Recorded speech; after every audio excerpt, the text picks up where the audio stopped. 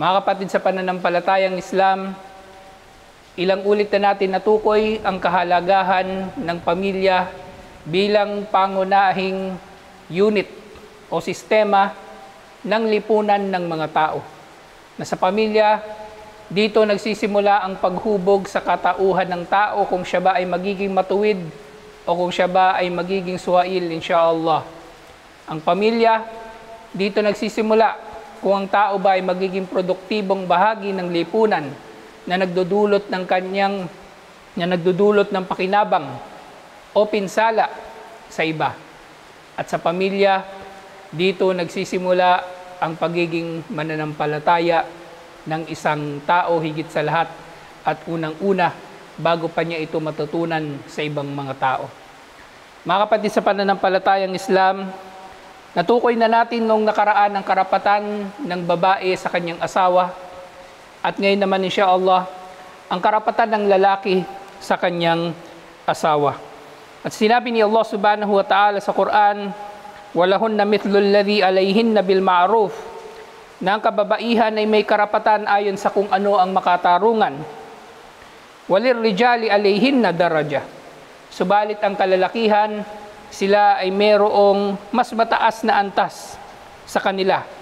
Nang tinutukoy dito na mas mataas na antas ay dahil sa ang kalalakihan ay merong pananagutan sa kababaihan at sila ang nagtutustos sa kanila sa pamagitan ng kanilang pagtatrabaho o paghahanap buhay, pagninegosyo, upang matustusan ang kanilang mga pangailangan sa pananamit, pamamahay, pagkain, inumin, at iba pang mga pangangailangan ng babae bilang asawa ng isang lalaki. At gayon din may kita natin dito sa sinabi na ito ni Allah subhanahu wa ta'ala. Ito ay may kinalaman sa sinabi ni Allah subhanahu wa ta'ala na ar-rijalu kawamuna alan nisa ang kalalakihan, sila ang mga tagapagtaguyod ng kababaihan. Na dahil dito ay makukuha natin ang pangunahing karapatan ng lalaki sa kanyang asawa, ang karapatan na siya ay sundin, na pangunahing karapatan ng lalaki na siya ay susundin ng kanyang asawang babae.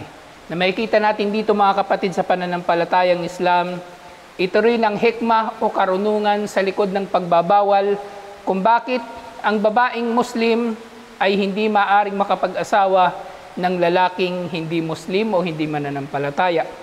Dahil ang babae, siya ay marapat na susunod sa kanyang asawang lalaki at kung siya ay mag-aasawa ng hindi mananampalataya, siya ay uutusan lamang nito na suwayin si Allah subhanahu wa ta'ala sa pamagitan ng paghahanda ng alak, pagluluto ng baboy, o paggawa ng iba pang mga kalaswaan. At hindi maaring ikatwiran ng sino mang babae na hindi niya susundin ng lalaki sa pagsuway kay Allah subhanahu wa ta'ala dahil walang paraan sa bagay na ito dahil ang lalaki palagi ay mas malakas at siya ang merong pinakamataas na karapatan sa isang pamamahay o sa isang tahanan o pamilya. Kaya sa halip na mailagay ang babae sa isang posisyon na manganganib dito ang kanyang relihiyon o ang kanyang buhay ay pinagbawal na ng tuluyan ni Allah subhanahu wa ta'ala na ang babaeng muslima ay mag-aasawa ng lalaking hindi mananampalataya upang maisara na ang lahat ng masasama sa likod ng pintuan na ito ng pag-aasawa ng babaeng muslim ng isang hindi mananampalataya. Pangalawa sa karapatan ng babae o karapatan ng lalaki sa kanyang asawang babae ay ang pagtupad ng pangangailangang sexual ng lalaki liban na lamang sa mga panahon o mga pagkakataon o kadahilan ng legal katulad ng kung ang lalaki o ang babae ay mayroong buwan ng dalaw o kaya ay siya ay gumagawa ng obligadong pag-aayuno katulad ng pag-aayuno sa Ramadan o ang babae ay mayroong matinding sakit. Hindi maaring ang babae ay makikipagtalik sa kanyang asawa sa ganitong mga pagkakataon. Na sinabi ni Propeta Muhammad sallallahu alaihi wasallam, "Idza da'a ar-rajulu imra'atahu ila firashi fa'abat, fabata gadbanan 'alayha la'anat hal malaikatu hatta tusbih." Na sinabi ni Propeta Muhammad sallallahu alaihi wasallam, kung ang lalaki ay hihiling sa kanyang asawang babae na makipagtalik ito sa kanya, at ang babae ay tumanggi at ang lalaki ay nagalit sa kanyang asawang babae, isusumpa ang babae ng mga anghel hanggang sa siya ay abutan ng umaga. Na nagpapakita ito ng kahalagahan ng pagtupad ng babae sa pangangailangan ng kanyang asawa at hindi ito nangangahulugan ng Islam ay malupit. Hindi ito nangangahulugan ng Islam ay nangaapi sa kababaihan. Bagkos ito ay nangangahulugan lamang na ang lalaki ay binibigyan ng mataas na antas sa kanyang mga karapatan. Sumunod na karapatan ng lalaki, ang sinabi ng mga scholar, ang hindi patuloyin sa kanilang pamamahay ang sino mang ayaw ng kanyang asawang lalaki na patuloyin. Kaya kung ang asawang lalaki ay nagdesisyon na huwag patuloyin sa kanilang bahay ang mga tao na nalalaman niyang nagdadala lamang ng pinsala, katulad ng kapitbahay na chismoso o chismosa, o kaya iba pang mga masasamang tao, marapat ito na sundin ng babae. O kahit pa sa mga pagkakataon na maaring hindi nila nauunawaan ang dahilan kung bakit ang lalaki ay nagbabawal sa tao na yaon ay pupunta sa kanilang pamamahay, ay marapat ito na susundin ng babae. Ikaapat, ang babae ay hindi marapat na lalabas ng kanilang pamamahay nang walang pahintulot ng kanyang asawa, nariyan man ng kanyang asawa o nasa malayong lugar. At ang paghingi na ito ng pahintulot ng babae sa kanyang asawa na lumabas siya ng bahay ay pangkalahatan. Ito man ay upang mamalengke, ito man ay upang dumalaw sa sakit. Ito man ay upang pumunta sa masjid upang magsala o dumalo sa pag-aaral. Na kung titingnan natin ang mga bagay na ito ay mga bagay na mabubuti, subalit inoobliga pa rin ang babae na magpapaalam sa kanyang asawang lalaki sa pagtungo sa mabubuting mga gawain na ito. Dahil ang karapatan ng lalaki ay mas mataas kaysa sa karapatan na mga ito dahil ang karapatan ng lalaki sa kalagayan na ito ng pagsunod sa kanya ay obligado. Samantalang ang pagtungo ng babae sa mga bagay na ito ay voluntaryo lamang sa maraming mga pagkakataon. Ikalima, ang lalaki ay may karapatan na disiplinahin ang kanyang asawa niya, ang kanyang asawa sa pamagitan ng pagpapayo, pangangaral at iba pa. Katulad ng sinabi ni Allah subhanahu wa ta'ala, Wallati takhafuna nushuzahunna faiduhunna wahjuruhunna fil madaji. Na sinabi ni Allah subhanahu wa ta'ala, Yawang kababaihan na kinatatakutan ninyo sa kanila ang pagiging matigas ng ulo, ay pangaralan ninyo sila. O kaya ay huwag kayong makipagtalik sa kanila bilang pagdisiplina sa kanila at panghuli, wadribuhon pinahintulutan ni Allah subhanahu wa ta'ala na sila ay inyong paluin o masaktan ng bahagya upang sila ay makarealize ng kanilang mga pagkakamali. Subalit ito ay hindi pananakit ng pananakit ng may pagmamaltrato. Ito ay pananakit na katulad lamang ng pagpapaalala sa kanila at hindi upang magdulot ng permanenteng pinsala o pagkabaldado sa kanila. Pang-anim, ang pangkalahatang paglilingkod ng babae sa kanyang asawa ayon sa kung ano ang makatwiran. At nangangahulugan ito ng babae ay marapat na mag-aayos ng kanyang tahanan, ipagluluto ang lalaki, ipaghahanda ito ng pagkain, at iba pa na mga bagay na kailangan sa isang mahusay na buhay mag-asawa.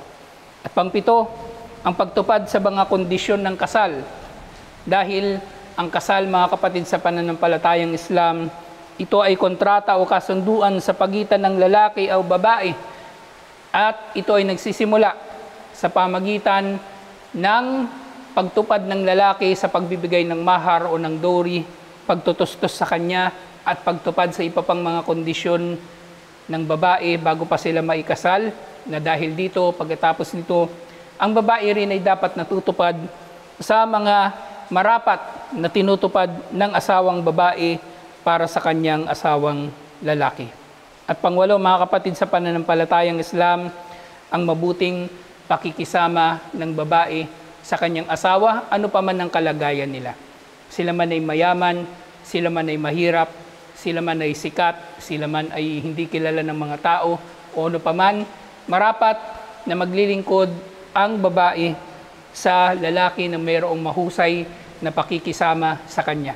At kabilang na rin dito ang pangangalaga ng babae sa karangalan ng kanyang asawang lalaki. Na nakapagtataka nga sa panahon natin ngayon mga kapatid sa pananampalatayang Islam, ng marami sa mga suliranin ng mga mag-asawa ay nakararating na sa ibang tao bago pa ito malaman ng asawa dahil madalas na ipinopost ng babae sa social media ang kanyang problema sa kanyang asawa at iba't iba pang mga bagay-bagay na marapat sanang pinagtatakpan ng babae para sa kanyang asawang lalaki bilang karapatan ng lalaki sa kanya. At bilang pagpapanatili ng kanyang karangalan bilang babae at bilang asawa ng isang lalaking may asawa at bilang mananampalataya kay Allah subhanahu wa ta'ala na mayroong dangal, mayroong delikadesa at mayroong pagiging magalang o kagalang-galang at disente. Mga kapatid sa pananampalatayang Islam, madalas ay inilalarawan ng mga hindi mananampalataya ang kababaihang Muslim na sila di umano'y inaapi dahil sila ay inoobliga na magsuot ng hijab na mabalot ang kanilang buong katawan at sila ay inoobliga na manatili sa kanilang mga bahay o kaya ay inoobliga na sumunod sa kanilang mga asawa. At sa panahon natin ngayon na nangingibabaw o namamayani sa buong mundo ang kanluran o ang kultura ng mga kanluraning bansa, katulad ng Amerika, Europa at iba pa, ang mga Muslim ay nagiging biktima na rin ng malawakang paninira na ito sa kultura natin at tradisyon bilang mga Muslim, kaya inaakala na rin ng maraming mga babaeng Muslim na sila ay inaapi nga kapag sila ay nagiging mabuting mga mananampalataya. Mga kapatid sa pananampalatayang Islam, alalahanin natin ang layunin natin kung bakit tayo naririto sa mundo. Naririto tayo upang sambahin si Allah subhanahu wa ta'ala at gawin ang mga bagay-bagay na kalugod-lugod sa Kanya. Hindi tayo naririto upang sundin natin ang mga hindi mananampalataya. Hindi tayo naririto upang malugod sa atin ang mga hindi mananampalataya. O kahit mananampalataya pa ang magbibigay sa atin ng suhestyon o kaya ay magbibigay sa atin ng ideya na isang uri ng pangaapi ang pagsunod ng babae sa kanyang asawa, mga kapatid sa pananampalatayang Islam, si Allah mismo ang nagsalita tungkol sa bagay na ito, kaya bakit tayo susunod sa kapwa lamang natin tao? Kaya nga sinasabi ng mga scholar, la ta'ata fil makhluk, la ta'ata lil makhluk fi ma'siyatil khaliq. Na walang pagsunod sa nilikha kung ito'y nangangahulugan naman ng pagsuway sa tagapaglikha. Kaya mga kapatid sa pananampalatayang Islam, kuno ibadullah, maging mga alipin ni Allah subhanahu wa ta'ala at hindi maging mga alipin ng mga kapwa natin tao na wala namang nalalaman sa relihiyon o kaya ay wala namang nalalaman sa mga bagay-bagay ni kinalulugdan ni Allah subhanahu wa ta'ala. Ang relihiyon na ito ay kumpleto na.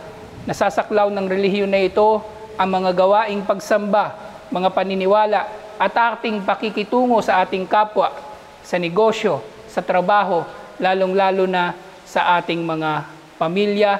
Kaya si Allah ang mas marapat natin na susundin, inşallah.